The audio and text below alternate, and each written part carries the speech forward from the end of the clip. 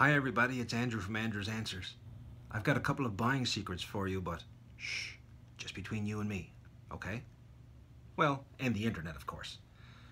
So, most people, when they go into the market to buy a home, it doesn't matter if it's their first home, their fifth home, or their tenth home, most people go about it the same way.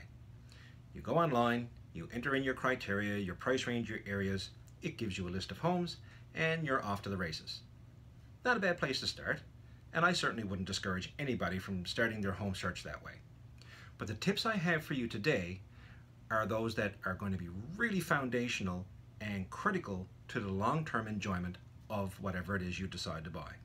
So before you put pen to paper, here's some things that you should consider. Now, your home is really your base of operations. It's where the whole of your existence is operated out from. So when you consider distance to work, where extracurricular activities are held. Uh, maybe you have hobbies that are outside the home. Uh, it could be like where are your friends and family. All these sorts of things are really critical for you to consider before you actually sit down and start writing offers. I mean, consider this. Lots of places are beautiful and they may be in an ideal setting. However, the commute to and from work could be quite extensive. Now remember too that the travel time that it took you to get to looking at that home is not going to be the regular commute from a day-to-day -day perspective.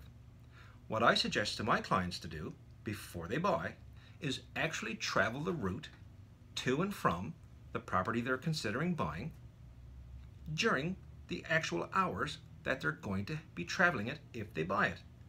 I mean, imagine if you go out to look at a home on a Saturday morning and there's very little traffic. That's going to be a whole lot different than a snowy Tuesday. The other thing too is depending on the distance from your family and friends, especially if you're either a bit social, you've got to consider what is a cab ride going to cost? Is there any bus services available? I mean, there are times where I've actually had people consider a home and then they kind of thought through exactly what I'm saying now and they discovered, wow, my friends are 25 or 30 kilometers away and that's going to be really inconvenient. So maybe we should condense our area and make sure we're a little bit closer to those social touch points. As I said, like your home is your base of operation.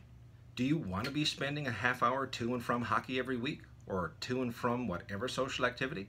Maybe you want to go to a paint night, but it's just too far out of the way.